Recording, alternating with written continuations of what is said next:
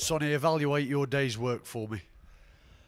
Done the job, came home with the gold medal, so that was yeah great for me. Considering the last couple of weeks I've had, I've really been struggling in training. I mean, I got got ill, lost five kilo of body weight. I was down at 88.7 um, two weeks ago. So I've been eating loads of food with uh, one of my sponsors, Buff Box, have been sorting me out nutritionally, and uh, really got me back up to weight. I was still only weighed in at 91.4 yesterday, which is still obviously very light, but I pulled it together on the day. Left myself a bit of work to do on the on the snatch. I was seven kilo behind Owen, but uh, I knew clean and jerk was my strength and uh, pulled out on the day.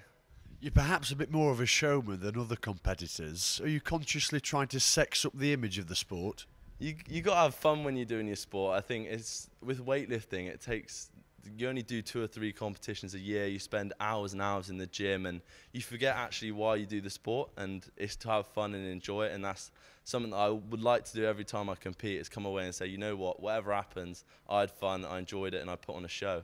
It's something I felt over the last two or three competitions that I've done. I haven't been myself. I haven't really, you know, had my showmanship and really enjoyed myself. But uh, I brought it back yesterday. I felt like myself on the platform and really had good fun. And yeah, I want to put on the show for the crowd because they've come all the way to watch us. Like, so.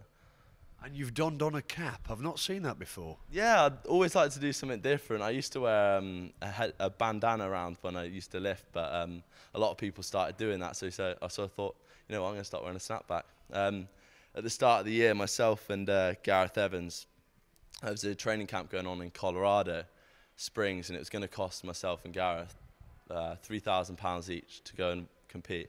And we had nowhere near that money between us. We had £2,000 between us that we wanted to spend. So we sat down. Gareth's obviously in Holyhead. I'm in Bristol in my flat. Sunday afternoon.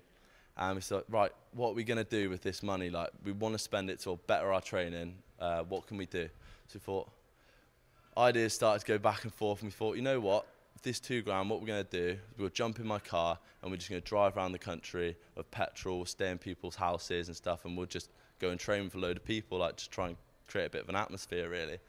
Um, but that idea started to snowball, and before we knew it, we jumped in a camper van and we're traveling around the country to 14 gyms in 14 days, uh, raising money for Help for Heroes. Um, so every day we went to the gym, we did put on a coaching clinic for free.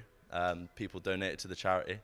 Um, yeah, we went all around uh, the UK and raised a load of money, raised £4,500 for charity. Had a great atmosphere everywhere we went because loads of people come out to watch us and train. And uh, yeah, it was a great experience. But um, one of the companies that actually sponsored the tour, Heavy Rep Gear, who now sponsor me full time, um, gave us a load of hats to wear. And when we were training, I just slammed the hat on and it just became part of my thing now. So I can't train without one. I've always got, I've got big collection of hats. I put a hat on now when I train.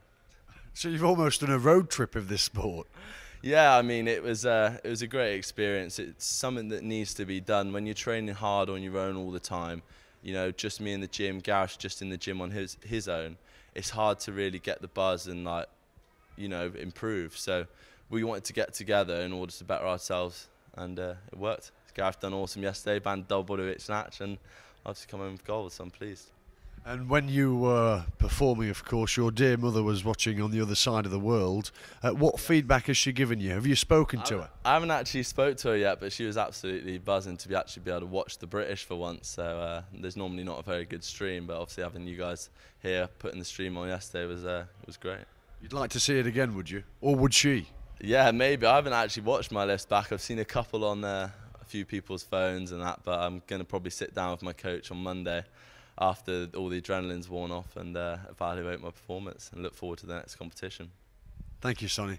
Thank you very much. I just want to say a quick thank you to uh, Ashley Metcalfe and British Weightlifting for putting on an awesome event. All the sponsors that have obviously been uh, been supporting the event today. It's been great. The British is becoming now a real great event to watch, and people want to come and see it. So, I just want to say a big thank you to those guys, and obviously to my personal sponsors, Jeff Dovey and my coach Andy Suter.